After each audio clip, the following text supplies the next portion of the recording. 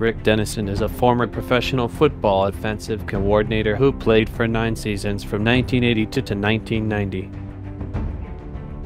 Dennison was born on June 22, 1958 in Kalispell, Montana. In college, Dennison played for the Colorado State Rams in Fort Collins, Colorado. Over nine seasons, Dennison played for the Denver Broncos.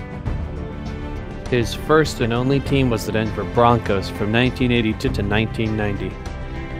Here are some highlights from his nine years with the Denver Broncos.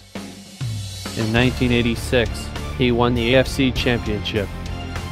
In 1987, he won the AFC Championship. In 1989, he won the AFC Championship.